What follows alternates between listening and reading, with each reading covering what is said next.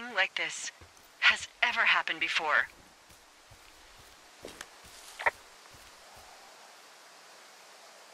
Look, I'm headed back to the gate, and now that I've got an axe, we'll know something soon. You need to get into that site. Call me when you find something.